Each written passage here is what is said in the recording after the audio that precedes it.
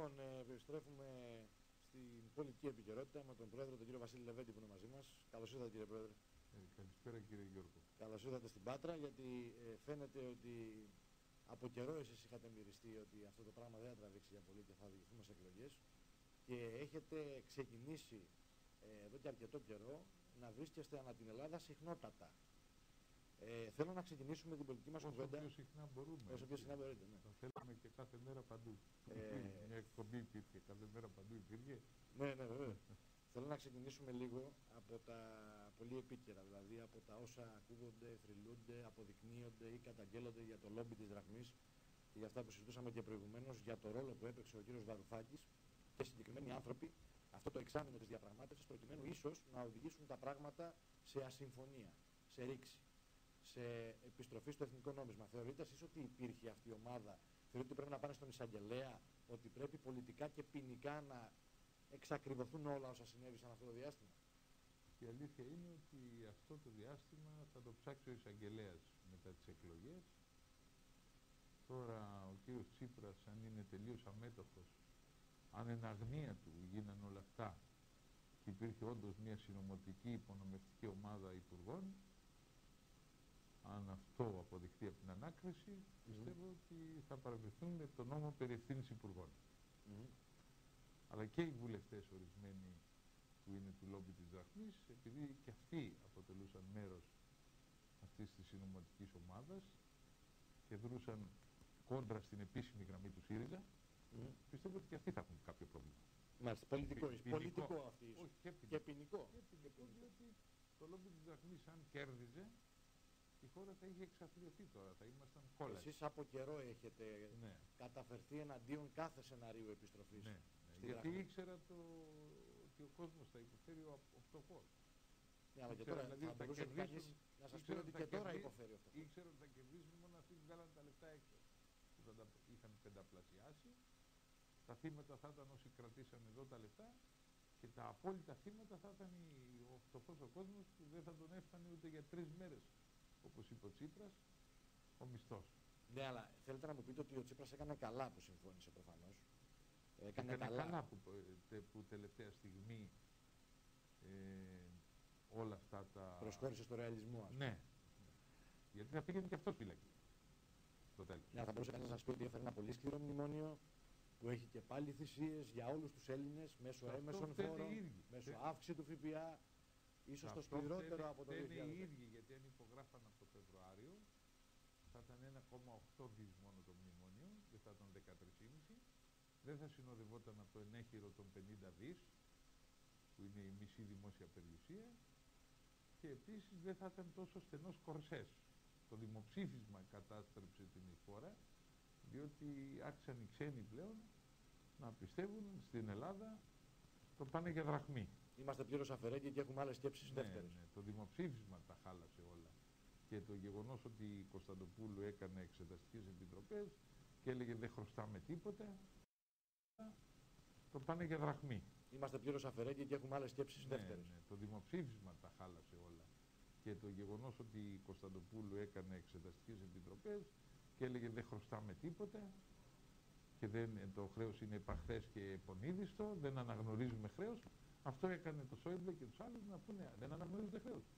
Πάρτε το ενέχειρο των 50 δις και φάτε το. Τώρα, πάμε επειδή είναι περιττό να... μεγάλες ευθύνες και Είναι αυτά. περιττό να πω ότι έχετε επιβεβαιωθεί στα περισσότερα από όλα όσα έχετε πει τα προηγούμενα χρόνια. Μάλιστα κυκλοφορούν Ναι, και έχουν βιντεάκια. γίνει και πολύ δημοφιλή και βιντεάκια. Το δημοψήφισμα πάντως ήταν μια απόλυτη καταστροφή. Το Όπως δημοψήφισμα είχαν λέτε. πει το Γιώργο Παπανδρέου Αυτό βλάκα. πληρώνουμε λέτε τόσο Τον πολύ. είχα πει, πει βλάκα το 11 και τον είχε πει και ο Τσίπρας βλάκα τότε. Που πήγε να κάνει κοινοκή. Τώρα το έκανε. Το έκανε για να ενοχοποιήσει τον κόσμο. Το έκανε, εγώ ξέρετε τι πιστεύω. Εγώ πιστεύω ότι ο Βαρουφάκης είχε παρασύρει το Τσίπρα στο εξής τουλάχιστον. Όλα τα άλλα ερευνητέα. Ότι του έλεγε ότι στο τέλος θα υποχωρήσει η Μέρκελ γιατί ήταν 130 δις τα ομόλογα που είχαν μαζευτεί τα ελληνικά στην Ευρωπαϊκή Κεντρική Τράπεζα. Και πίστευε ο Βαρουφάκης ότι είναι μεγάλο αυτό το ποσό και θα έκανε τους Ευρωπαίους να υποχωρήσουν. Και ο, πίστεψε σε αυτή την άποψη ο Τσίπρας και όλοι ροκάνησαν τον χρόνο μέχρι τον Ιούλιο. Οι ξένοι δεν υποχώρησαν και εμείς μετά υποχωρήσαμε άτακτα και από αποδεχθήκαμε όλους τους όρους. Δηλαδή κατελάχιστον αν δεν έχει κάνει άλλης μορφής προδοσία ο, ο, Παρέσυρε πολιτικά τον Τζίπρα. Παρέσυρε τον Τζίπρα σε, στο να ροκανιστεί ο χρόνος και του έλεγε ότι τώρα να τελικά το... θα υποχωρήσουν οι ξένοι. Και τώρα να πληρώσουμε το λογαριασμό πολλαπλάσιο. Ναι, ναι, αυτό το έκανε. Μάλιστα. Τώρα πείτε μου κάτι, επειδή έλεγα προηγουμένως ότι επιβεβαιωθήκατε και θέλω μια πρόβλεψη να μου κάνετε για τα άμεσα που θα έχουμε, γιατί όπως είπα προηγουμένως θα έχουμε ένα θερμό πολιτικό Αύγουστο και πιθανώς εκλογές, στι οποίες μάλιστα το κόμμα σας πάει με ιδιαίτερα μεγάλη πιθανότητα για να μην πω σιγουριά, με βάση τις δημοσκοπήσεις, ναι. να, να μπείτε στη Βουλή. Πώς βλέπετε τώρα αυτή η κατάσταση, να, να, η πολύ παράδοξη πολιτική κατάσταση; Μια κυβέρνηση που έχει χάσει τη δεδηλωμένη εδώ και καιρό, στηρίζεται από την αντιπολίτευση, οι δικοί της 30-40 βουλευτές δεν ψηφίζουν τα κυριότερα μέτρα που είναι εθνικούς σκοπού, υποτίθεται κατά την κυβέρνηση. Πόσο θα τραβήξει αυτό, πότε βλέπετε αυτή η ιστορία να καταλήγει κάπου ε, και κυρίως πότε βλέπετε εκλογές; Ακούστε, 20 Αυγούστου είναι η προθεσμία που έχουν βάλει οι ξένοι για να επέλθει η συμφωνία. Ναι. Για να επέλθει αυτή η γέφυρα συμφωνία. Ναι. Και οι τελικές συμφωνίες θα γίνουν μετά τις εκλογές Οκτώβριο, mm. Νοέμβριο.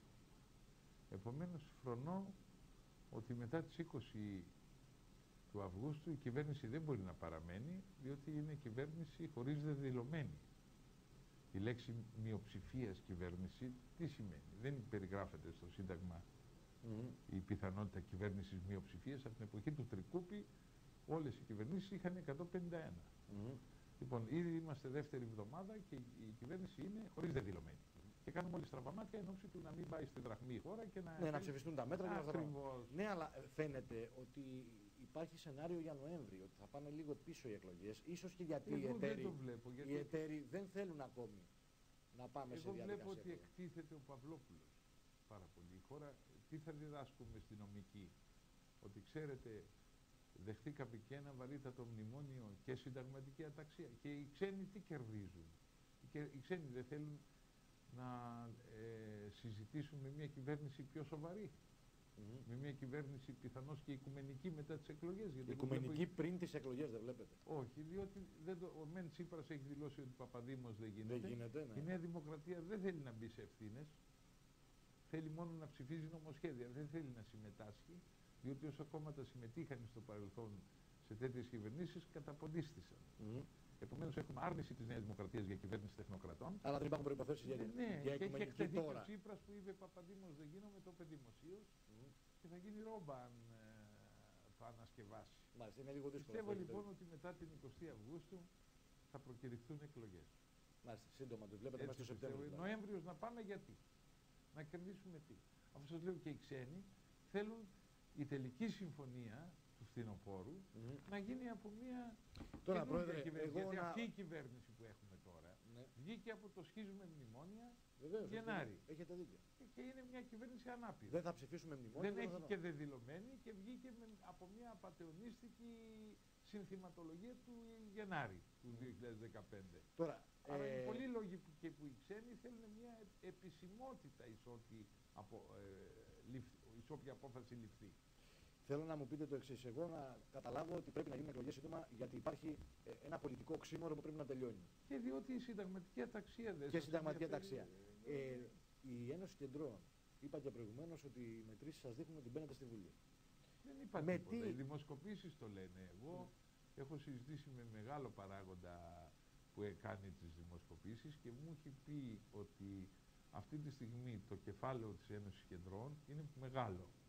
Δηλαδή ότι καθημερινά αυξάνει η δυναμική. Το βλέπετε στον κόσμο. Στη νεολαία, στον κόσμο, το καταγράφουν αυτοί. Εσείς το βλέπετε στον κόσμο; Ε, εγώ τι να σας πω τώρα. Εγώ, εμείς έχουμε πάθει ζημιά από τα τηλέφωνα, από το γραφείο, από τις προσκλήσεις, από τις ε, προσπάθειες να μπουν υποψήφοι από το ποτάμι, από την ΑΝΕΛ, από παντού. Έχετε και μεγάλη διαθεσιμότητα για να μπουν υποψήφοι, ε; Ναι, ναι. τεράστια. Τεράστια, λέει. Τι να σας πω. Πείτε μου Εγώ προσπαθώ βέβαια να βρούμε καλά παιδιά. Mm. Εμείς αρχική απόφαση είχαμε να μην βάλουμε από άλλα κόμματα. Mm. Γιατί έχει η κοινωνία μεγάλα διαθέσιμα. Γιατί να απευθυνθούμε δηλαδή στα μπάζα άλλων ναι. κομμάτων, να το πω έτσι. Ναι. Και θέλαμε να βάλουμε νέα παιδιά και στην Πάτρα και στην Αθήνα και παντού στην Κρήτη, νέα παιδιά να διεκδικηθεί από νέους ανθρώπους η θέση του βουλευτή. Αυτό θέλαμε και αυτό αρμόζει περισσότερο στην ιδεολογία μας. Μάλιστα. Τώρα, εσείς με ποιο... Τώρα κάποιες όμως περιπτώσεις ανθρώπων, οι οποίοι ε, ήταν σε άλλα κόμματα και προδόθησαν. Είναι, έχουν βιογραφικά πολύ σπουδαία. Ε, δεν είναι και ποινικό αδίκημα να ήσουν σε άλλο κόμμα. Κάποιες λίγες λοιπόν περιπτώσεις ανά την Ελλάδα, ανθρώπων που είναι έντιμοι και κακοποιήθησαν από τα άλλα κόμματα ή επροδόθησαν, θα, θα τις εξετάσουμε με Για να βάλετε στις λίστες. Γιατί είμαστε καλοί άνθρωποι και γιατί πάντα κάνουμε έτσι. Ε, θέλω να κλείσουμε, ε, να μας πείτε, ωραία πάμε σε εκλογές με μεγάλη πιθανότητα, και αν όχι βεβαιότητα, να μπείτε στη Βουλή ναι. και να δικαιωθείτε. Εμείς ελπίζουμε και καλύτερα δηλαδή για να είμαστε τρίτο κόμμα, γιατί το ελπίζουμε αυτό. Γιατί Τόσο πολύ ψηλά. Αισθανόμαστε ότι το ποτάμι έχει φθορά. Ναι. Έχει μεγάλη φθορά το ποτάμι, γιατί έκανε αυτό το πάση θυσία συμφωνίες κλπ. τα οποίο κόστισε στη χώρα. Ναι. Γιατί όταν ακούνε και οι ξένοι πάση θυσία συμφωνία, σου λέει βάρα τους κι άλλο ένα ενέχειρο. Ναι. Βάλ τους και 100 ακόμη προαπαιτούμενα. Mm. Δηλαδή όταν φωνάζουν, στην, όπως τότε που φώναζε ο Μητσοτάκης, ε, δώστε το όνομα Μακεδονία και σε 10 χρόνια θα το έχουμε ξεχάσει, γιατί να κάνουν πίσω οι Σκοπιανοί. Ναι. Δηλαδή όταν ακούγονται φωνές σε εθνικό επίπεδο, ε, μειοδοτικές... Τόσο παραχωρητικές. Ναι, ναι, ναι, παραχωρητικές, γιατί οι ξένοι να κάνουν πίσω. Δεύτερον, ναι. η Χρυσή Αυγή έχει, με αυτό το τυφλό όχι, η Χρυσή Αυγή και Κοκουέ, είναι κόμματα που ε, αρχικώς δέχτηκαν εκδικητική ψήφο, δηλαδή την ψήφο εκδίκησης. Αλλά δεν απέδωσε πουθενά. Δηλαδή, ε, πόσο καιρό θα εκδικείται και ο ψηφοφόρος της Χρυσής Αυγής; Τώρα είδε ότι κρύβονται, ότι κρύβονται εγκληματικές προσωπικότητες μέσα εκεί. Mm. Φρονώ λοιπόν ότι η Χρυσή Αυγή θα έχει μία πτώση κατά την άποψη. Άρα έχετε ψηλούς στόχους εκλογικούς. Δεν είναι, μα όλο γύρω στο 5 το μέγιστο ήταν όλοι αυτοί. Ποτέ δεν ανεβήκανε ψηλά κύριε mm. Δεν ανέβηκαν πάρα πολύ ψηλά κανένας τους για να πούμε ότι είναι πανύψηλοι. Ακόμη και ο Λαβαζάνης αν κάνει κόμμα από 3 έως 5 τώρα. Βλέπετε να κάνει κόμμα στο ΣΥΡΙΖΑ. Το βλέπω, το κάνει. κάνει, θα κάνει. Δεν θα πολιτευτούν όλοι αυτοί οι αριστεροί, οι σκληροί, τη δραχμή. Ιδιαίτερα τώρα που τους πάνε για φυλακή όλους. Αυτούς τους πάνε όλους για δικαστήριο. Δεν θα πολιτευτούν να έχουν και την ιδιότητα. Ω υπέτειο τους λόγου του Είναι ένας τρόπος άμυνας να διεκδικήσουν τη βουλευτική έδρα. Κύριε Λεβέντη. λοιπόν ότι η Ένωση Κεντρών αυτή τη στιγμή mm. έχουν σαν μια δυναμική. Ε, ποια δυναμική; Ότι εμείς θέλουμε να μείνουμε στο ευρώ και στην Ευρώπη, αλλά με αξιοπρέπεια. Λοιπόν, θα πάμε έξω ή αν στηρίξουμε μια κυβέρνηση, δεν μας νοιάζει να πάρουμε υπουργεία. Μας μας ενδιαφέρει το Να πούμε στους ξένους. Οι μεταρρυθμίσεις που νομίζετε ότι συμφωνήσατε με τον Τζίπρα είναι ανόητες. Εμείς έχουμε άλλες πολύ καλύτερες που θα φέρουν αποτέλεσμα. Να καταργηθούν οι πολυθεσίες, να καταργηθεί η δεύτερη, τρίτη σύνταξη, να απολυθούν οι αργόμιστοι από τη Βουλή 1500 που είναι συγγενείς των βουλευτών, οι αποσπασμένοι οι, οι, μετά οι συνταξιούχοι που και έτσι Περικοπή δαπανών λέτε και όχι φορολογία. Ναι, δηλαδή εμείς έχουμε η ατζέντα της Ένωσης Κεντρών, έχει μεταρρυθμίσεις που κόβουν τις ελίτ τα προνόμια. Έχετε ακούσει αυτό να το θίγει κανένα; Οι άλλοι μιλούν για μεταρρυθμίσεις, ακόμη και το ποτάμι άκουγα το Ή για φορολογία να πληρώσει, ένα κύριο να πληρώσει ο προηγουμένως βουλευτή που έλεγε για μεταρρυθμίσεις. Γιατί δεν τον ρωτάγατε, και σας προκαλώ, τι μεταρρυθμίσεις εννοείται λέει να, να, μην ρίχνουν, να στηρίξουμε λέει, τον ιδιωτικό τομέα. Τι, πώς θα στηριχθεί ο ιδιωτικός τομέας; Ο ιδιωτικός τομέας για να στηριχθεί τι πρέπει να γίνει; Πρέπει να έρθουν πρώτον τα λεφτά του εξωτερικού πίσω. Είναι 130 δις.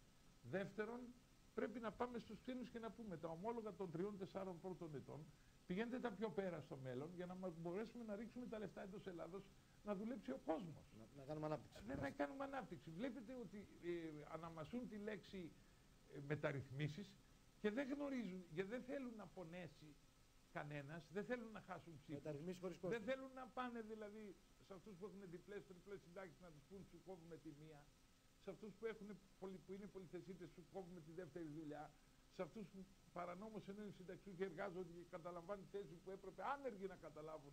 Δεν θέλουν, κοινώς δεν θέλουν να σπάσουν αυγά. Θέλουν να τα έχουν καλά με όλους, γι' αυτό και είναι νερόβραστοι ως ιδεολογίες και ως κόμματα.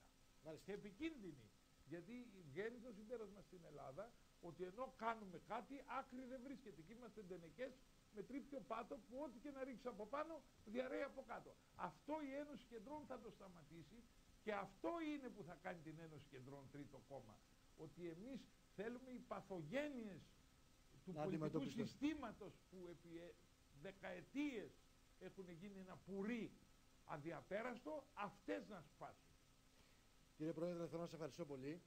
Και εγώ κύριε για αυτή την για κουβέντα. καλοσύνη Θα σας τα ευχαριστώ. ξαναλέμε. Εγώ Έχουμε σας μπροστά αγαπάω μας πολύ γιατί πάντα όποτε έρχομαι στη Βάτρα με αγαπάτε και με δέχεστε. Ε, με νομίζω ότι είναι καλοσύνη. υποχρέωσή μας. Με Είστε, καλοσύνη. είστε μια φωνή Για σταθερή όλα μένα, αυτά τα επειδή χρόνια. άλλοι όμως με κόβουνε, άλλοι δεν με αφήνουν, το ότι Όχι, όσοι, εδώ με, είναι- όσοι με αφήνουν για μένα είναι υποδείγματα πλουραλισμού και ηθικής. Εδώ είναι ανοιχτή, Δημοσιογραφικής ηθικής. εδώ είναι ανοιχτή η πόρτα για Το όλους ξέρω, αυτό όσους δεν αμφιβάλλω. έχουν να εκφράσουν τις πολιτικές τους απόψει. Σας ευχαριστώ πολύ, κύριε Και Λεβέντη. εγώ.